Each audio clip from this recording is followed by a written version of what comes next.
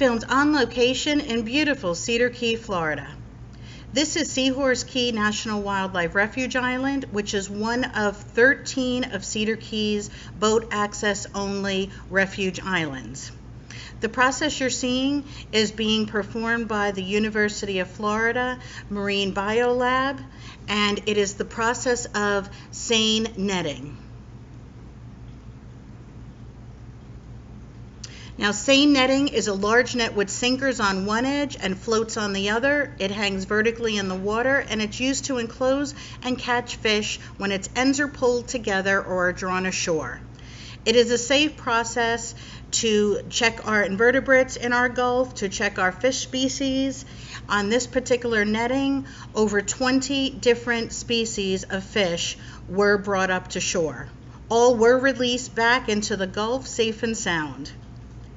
If you'd like to see more of what's going on in Cedar Key, Florida, please visit our website at www.farawayinn.com.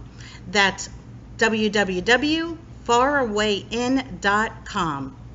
Thank you for watching the video.